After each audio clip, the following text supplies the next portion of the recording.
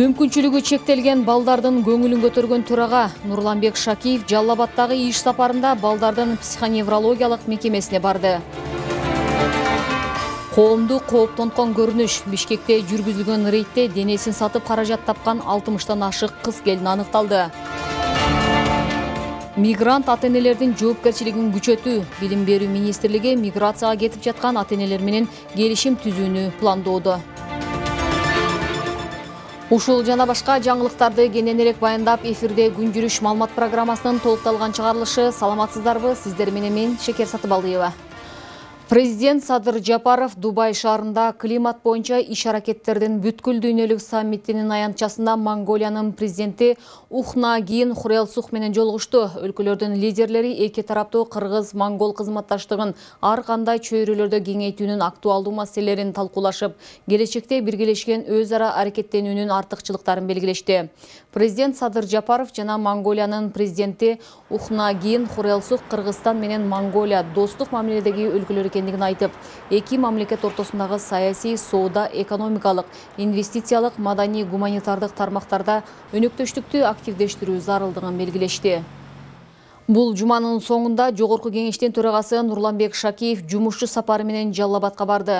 Төрага алгач жалал абад шаарындагы балдардын психоневрологиялык социалдык стационардык мекемесине барып балдар үчүн түзүлгөн шарттар менен таанышып жогору баасын берди ошондой эле облустагы бир катар социалдык объектилер менен таанышты парламент төрагасынын иш сапары тууралуу акылай маратова эми жалал абаддагы балдардын психоневрологиялык социалдык стационардык мекемесинде балдарды ар кайсы жакка жеткирүүдө кыйынчылык жаралбайт. Анткени бүгүн жогорку кеңештин төрагасы нурланбек шакиев жалал абадка болгон жумушчу сапарында аталган мекеменин кайрылуусу менен резервдик фондунан каражат бөлүнүп ага алынган мерседес бенз спринтер үлгүсүндөгү кичи автобусту тапшырды. Ошондой эле балдарга керектүү белектер берилди. Ага чейин төрага мекемеде балдар үчүн түзүлгөн шарттар менен таанышып жогорку баасын берди. Биз былтыр э, ушул күнгө утурлап сокулуктагы э, атайын үйгө барып э, сурадык эмне маселе сиздерде негизги борчуңдуу десем ошондо айтышты. Бизде чоң маселе ушул балдарды шаардагы ооруканаларга ташууда аябай чоң кыйынчылыктар бар. Ошого бир микроавтобус берсеңиздер бир кичи автобус сатып берсеңиз жакшы болот эле деп айтышкандан анан угуп ошону тез арада аз убакытта аткарып сокулукка ошону жасап бердик алып бергенден кийин абдан ыраазы болуп айтышты ушул бизге керектүү нерселер деп. Анан ошондон кийин биз муну чоң э, көйгөй экенин түшүнүп өлкө боюнча ушундай э, атайын үйлөргө э, жылыга ушул жогорку кеңештин төрагасынын фондунун атынан ошол фонддун эсебинен микроавтобус сатып берүүнү максат кылдык пландадык мына быйыл мына ушул алдыңыздарда турган кичи автобусту сиздердин үйүңүздөргө белек кылып алып келдик эске сала кетсек төрага өткөн жылы сокулук районуна караштуу ичке суу айылында жайгашкан ден соолугунан мүмкүнчүлүгү чектелген адамдарды жана балдарды реабилитациялоо борборуна да кичи автобус белек кылган. Андан соң нурланбек шакиевдин иш сапары базар коргон районунда уланып бешик жон айыл аймагынын жон айылындагы сооронбаев атындагы орто мектептин жаңы имаратынын ачылышына катышты буга чейин окуучулар билим алган мектеп бир миң тогуз жүз сексен тогузунчу жылы салынса экинчиси бир миң тогуз жүз токсон жетинчи жылы ишке берилген эки миң он бешинчи жылы өзгөчө кырдаалдар министрлиги тарабынан жараксыз деп табылып ага ылайык республикалык бюджеттин эсебинен эки жүз жыйырма беш орундуу жаңы мектеп курулган ал эми салтанаттын алкагында жогорку кеңештин төрагасы нурланбек шакиев жаңы мектепке жардам катары үч жүз миң сомдун сертификаты менен кошо заманбап компьютерлерди тапшырып агартуучуларды билим берүүнүн сапасы жогорулатууга чакырды сиздерди бүгүнкүдөй мына жаркыраган мектептин курулушу менен ачылышы менен куттуктайм э, бул мектепте сөзсүз э, келечек ээлери эртеңки биздин мамлекетибиздин жетекчилери окумуштуулар илимпоздор конструкторлор дүйнөгө аты чыккан кыргыздын эр азаматтары билим алат деп мен ойлойм базар коргон району э, баарыбыз билебиз биздин кыргыз өлкөсүнө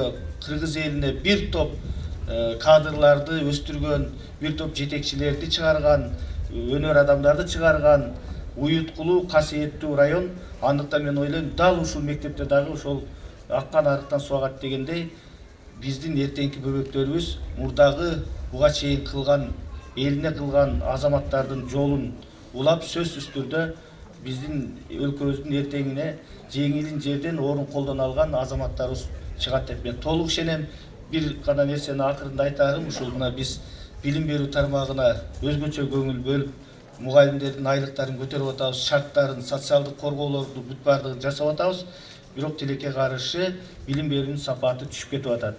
Мына көрсөткүч катары айтып коеюн мына акыркы эки жылда биз билим берүү тармагына эмгек акыларды көтөрдүк бирок билим берүүнүн сапаты республика боюнча тескерисинче түшүп кетти тилекке каршы мына ушуну биз баардыгыбыз талап кылабыз мугалимдерден ата энелер баардыгыбыз шарт түзүшүбүз керек жардам беришибиз керек ошол менен катар талап да кылышыбыз керек. Сөзсүз түрдө билимдин сапатын биз өстүрүшүбүз керек. Билим бул келечекке болгон эң чоң инвестиция.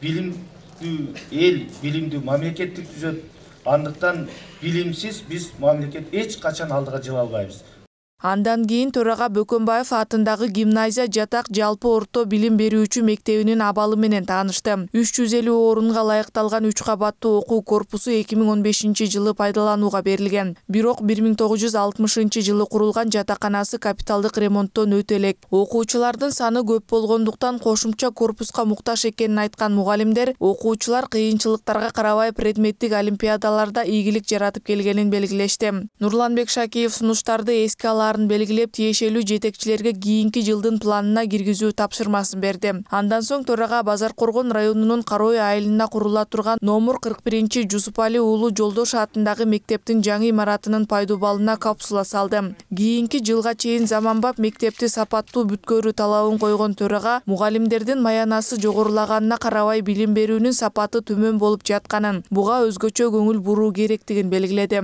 андан кийин нурланбек шакиев оогантала айылындагы оорукананын курулуш иштери менен таанышты жасалып жаткан жумуштарды көрүп төрага шарты жок имараттарда калкка кызмат кылып келген дааргерлер менен жолугушту буюрса мына сиздерге бүт шарттарды биз дарыгерлер менен э, ушул билим берүүнү чечмейинче бизде өсүш болбойт да. Мына азыр эмдиги жылкы бюджетке дагы киргизип атабыз дарыгерлердин айлыгын дагы көтөрөйлү депчи мамлекеттик камкордукту максималдуу түрдө жасашыбыз керек. И ага бизде бүгүн мүмкүнчүлүк бар. Мына кудай буйруса эң алдыңкы технологиялардагы оборудованияларды алып келебиз ушул жерге.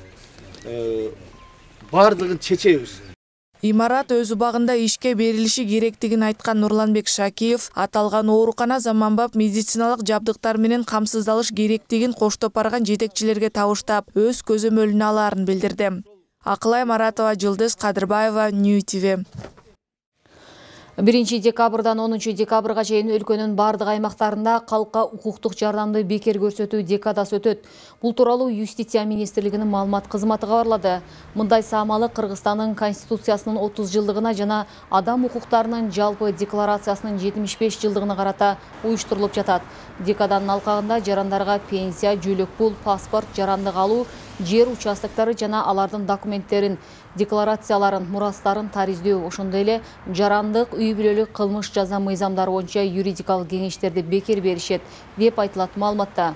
Укуктук консультациялык жардам дем алыш күндөрү да саат ондон он алтыга чейин көрсөтүлөт.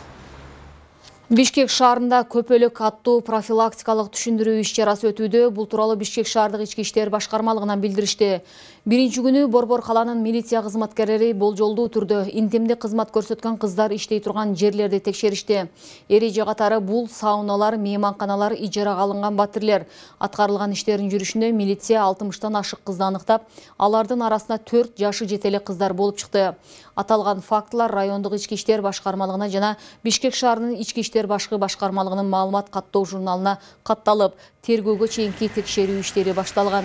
Ошондой эле сотко чейинки өндүрүштүн алкагында тиешелүү тергөө амалдарынын жүрүшүндө ар кандай мессенджерлерде мурда түзүлгөн топтор жана жамааттар аныкталган. Алардын катышуучулары социалдык жоопкерчилиги төмөн кыздар болгон. Чет элдик жарандарга интимдик кызмат көрсөткөн сойкукана уюштурууга көмөк көрсөткөн үчүн мурдагы аким кара суу базарынын ээси кармалганын укмк билдирди. Маалыматка ылайык ал сойкукана уюштуруу жана жайгаштыруу үчүн имарат берип ошондой эле бул мекемеде бир нече жолу интимдик кызматты пайдаланган.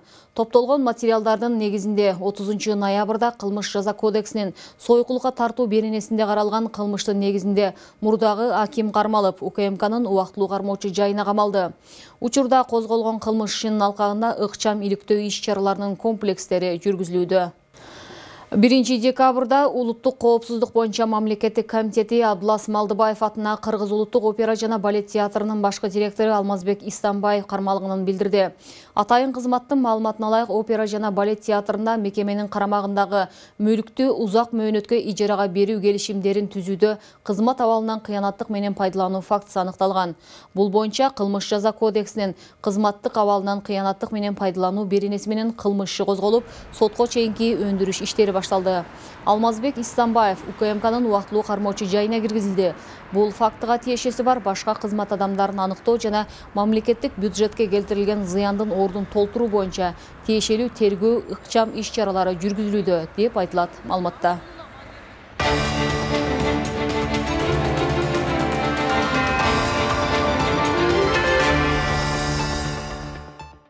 кыргызстанда эмгек миграциясына кетип жаткан ата энелер менен келишим түзүп баласынын коопсуздугун билим алуусун камсыздоо аракети көрүлөрүн жогорку кеңеште депутаттарга маалымат берип жатып билим берүү жана илим министри доктургүл кендирбаева билдирди министрдин айтымында бүгүнкү күндө үч жүз миңге жакын баланын же атасы же апасы дагы жүз миңдей баланын атасы да апасы да миграцияда. Бул өтө оор маселе. Аны жөнгө салуу үчүн ата энелер менен келишим түзүү долбоорун иштеп чыктык. Мыйзам чегинде жоопкерчиликти жогорулаталы деп. Жалгыз билим берүү жана илим министрлигинин колунан келбейт экен. Алар акча менен камсыз кылат. Бирок баланын өнүгүү процессине катышпай жатканы бала үчүн чоң жоготуу. Зомбулукка кабылган да ошолор көпчүлүгү. Кор болуп жүргөндөр да ошолор деди. Эмгек социалдык камсыздоо жана миграция министрлиги эмгек мигранттарынын балдарынын укугун коргоо максатында үймө үй текшерүү жүргүзүп натыйжада дээрлик беш жарым миң бала эч кандай туугандык байланышы жок адамдардын колунда жашап жатканы аныкталганын былтыр билдирген быйыл жайкы сезондо ысык көлгө келип эс алгандар бир бүтүн ондон үч миллиондой турист болгонун президенттин ысык көл облусундагы өкүлчүлүгүнөн билдиришти мекеменин маалыматына караганда президенттин облустагы ыйгарым укуктуу өкүлү эмилбек абдыкадыров көл жээгиндеги эс алуу жайларынын ээлери менен жолугушуу өткөрүп жайкы сезондун жыйынтыгын талкуулады биздин аймакта туристтер көбөйүп жатканы байкалууда андыктан тейлөө сапатын жогорку деңгээлге чыгарышыбыз керек. Негизги маселе экологияны коргоо жана эс алуучулардын коопсуздугун камсыз кылуу бул багытта баардыгыбыз биргеликте иш алып баруубуз зарыл деди облус жетекчиси ысык көл облусу боюнча бир миң бир жүз жыйырма жети эс алуу жайы бар. Алардын сегиз жүз элүү экиси ысык көл районунда бүгүн бишкек мэриясы мүмкүнчүлүгү чектелген балдар арасында өткөн конкурстун жеңүүчүлөрүн аныктады токтогул сатылганов атындагы кыргыз улуттук филармониясында өткөн салтанат майрамдык концерт менен коштолуп ал бишкек шаарынын мэри айбек жунушалиевдин катышуусунда өттү белгилүү болгондой үчүнчү декабрда эл аралык майыптар күнү белгиленет бул күндү утурлай кала бийлиги жыл сайын конкурс өткөрүп балдарга майрамдык маанай тартуулоо менен бирге таттуу белектерди таратып келет нургүл ырысалиеванын уулуна дарыгерлер балдардын шал оорусу деген диагноз коюшкан. Баласы аман эсен төрөлгөнү менен үч айында сарык болуп ал өөрчүп кеткен. Мындан улам ак халатчандар баланын баш мээсине доо кеткенин айтышкан. Алты ай сайын акысыз дарылоого барып турушат. Учурда нургүл ырысалиеванын баласы онго чыгып калгандыктан мамлекет майыптыгына байланыштуу айына сегиз миң сом. Баланын кароосу үчүн энесине жети миң беш жүз сом берилип турат. Мен билгенден жыйырма жети миңдей инвалид бар. Анан ал акчаны негизи жетпейт деле баарыбыз жалап кылбагандан кийин мен жалгыз жалап кылганда өзгөртпөйт да а бирок дарысына көп эле акча кетет мисалы невропатологко барышсак баары эле кымбат да именно баштын дарылары аябай кымбат анан дагы массаж лфк жана физиотерапия бүт кымбат баары бир киргенде эле уже беш жүз сом жети жүз сомго чейин беребиз да курс алыш үчүн жети миң сом он күн курс алганда эле уже бунун акчасы кетет да персональный ассистенттики кетет а дагы бир логопедке барсак ал да аябай кымбат жетпейт деле анан эми бирок өзүбүз аракет кылып атабыз. Ал эми өзүн жалгыз бой энемин деп тааныштырган мээрим бопоева майыптыгы бар эки уулу анын камкордугунда экенин айтат. Ден соолугунан улам мүмкүнчүлүгү чектелген балдарына мамлекет берген акчаны эки баласына жеткирүү аракетин көрүп келет. Эки балам бар эки балам тең мүмкүнчүлүгү чектелген мына бопоев Арс- асманбек э, дцп детский церебральный паралич анан экинчи балам болсо көзү көрбөйт бир көзү көрбөйт да экөөнө он алты миң алам. Анан мына баламды үйдө карап отурганым үчүн алты миң жети миң акча алам да жыйырма эки миң. Бир айга жыйырма эки миң акча алабыз. Эми ата энем бар болгон үчүн бир туугандарым бар болгон үчүн эптеп жеткирип жүрөм. Так жакшы. Эми жыйырма миңди үч балага элестете беребиз азыр деген массаж деген бир жарым миң сом болуп атат да. Муну менен катар колдоо көрсөткөндөргө ыраазычылыгын билдирди. Жыл сайын үчүнчү декабрда мүмкүнчүлүгү чектелгендердин эл аралык күнү белгиленет. Бул датаны утурлай бүгүн бишкек шаардык мэриясы майрамдык концерт өткөрдү. Иш чарада буга чейин мүмкүнчүлүгү чектелген балдар арасында атайын спорт жана маданиятка байланыштуу өткөн конкурстун жеңүүчүлөрүн сыйлады. Анда балдардын жашына жараша ар кыл багыттар каралган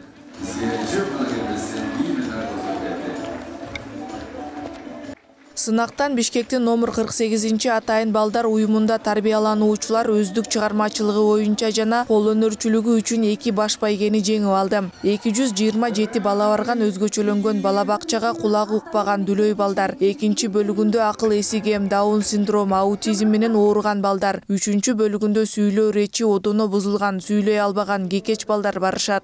Ушул байгеге ээ болууда албетте жамааттын ошолор менен күндүр түндүр иштеген чыгармачылык менен иштеген коллективимдин эмгеги зор деп эсептейм.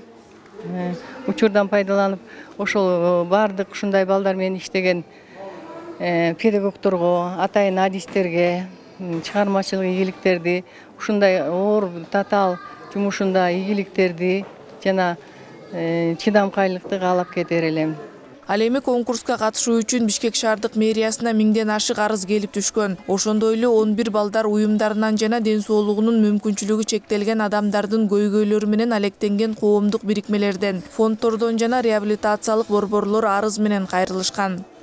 Бишкек шаарынын мэриясынын алдында койгон негизги милдет сапаттуу билим. Келечектүү жаштар жана бийик касиетке ээ болгон жаңы муунду тарбиялоо жана колдоо ошону менен бирге социалдык жөлөк пул материалдык жардам медициналык дары дармектер менен камсыздоо башкы милдеттерибиз болуп эсептелет. Учурдан пайдаланып ата энелерге окутуучуларга жана тарбиячыларга үзүрлүү эмгеги үчүн жылуу кучагынан алган мээримдүү тарбиясы үчүн терең ыраазычылыгымды билдирип кетким келет. Аземдин түштөн кийинки уландысында мүмкүнчүлүгү чектелген он сегиз жаштан жогорку балдар сыйланды. Ал эми иш чара майрамдык концерт менен улантылды. Акылай маратова жылдыз кадырбаева нью тв күн жүрүш маалымат программасынын жума күнкү чыгарылышы ушуну менен жыйынтыкталат. Кайрадан эфир аркылуу көрүшкөнчө саламатта болуңуздар.